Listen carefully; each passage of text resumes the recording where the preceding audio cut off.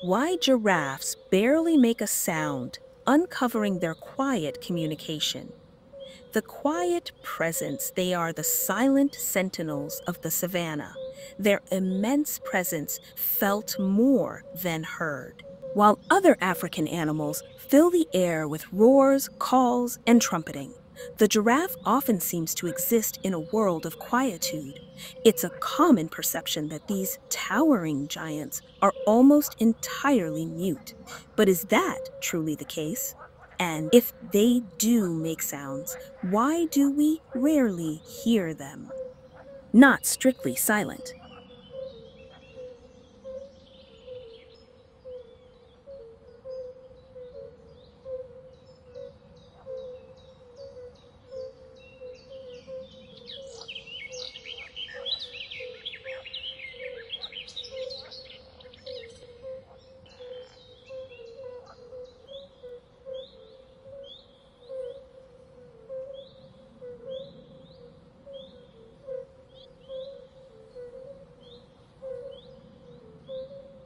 The myth debunked. Contrary to popular belief, giraffes are not completely silent.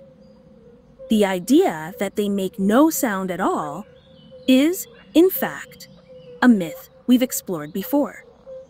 They do vocalize, albeit often very quietly and perhaps less frequently than many other mammals. They've been observed making snorts, coughs, moans, and even a sort of bleat. But these sounds are typically short range, used in specific situations, and often easily missed amidst the vastness and natural sounds of the savannah. The Anatomy Challenge. A long way for sound, one significant factor contributing to their perceived quietness lies in their unique anatomy. Consider the sheer length of a giraffe's neck, and thus the length of its trachea, the windpipe, connecting the lungs to the larynx where vocal cords are located. This tube can be over 12 feet long, pushing enough air with sufficient force and control all the way up that enormous distance to create loud, sustained vocalizations is a massive physiological challenge. It requires far more effort than for an animal with a short neck. Their respiratory system is incredibly efficient for breathing.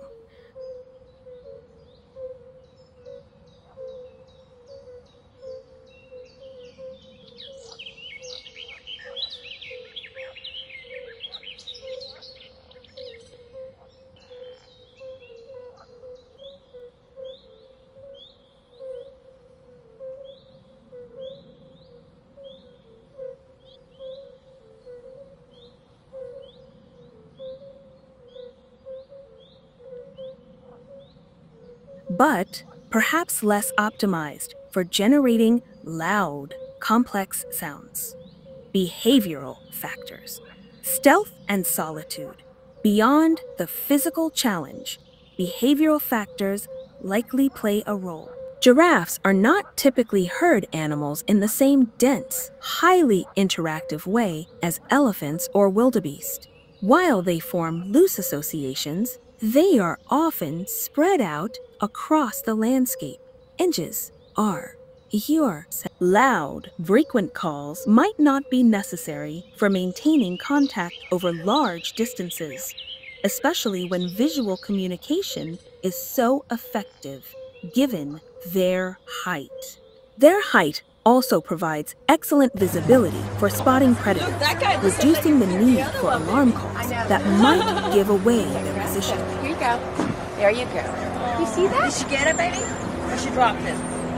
There She's dropping go. it. She look, she's dropping it almost, baby. She didn't really get it in there.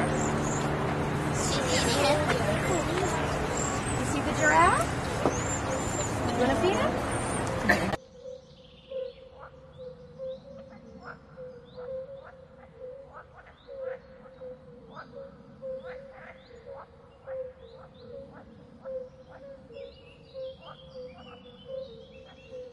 A quiet presence can also be an advantage for stealthy movement in certain situations, the mysterious nighttime hum.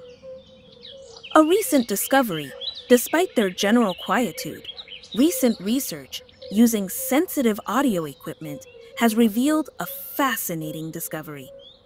Giraffes produce a low frequency humming sound, primarily at night. This isn't a loud call, but a deep, resonant hum that's often below the threshold of easy human hearing.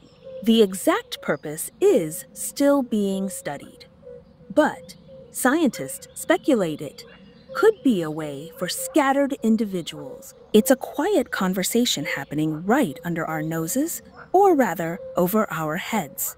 Communication beyond sound ultimately. Giraffes rely heavily on non vocal communication.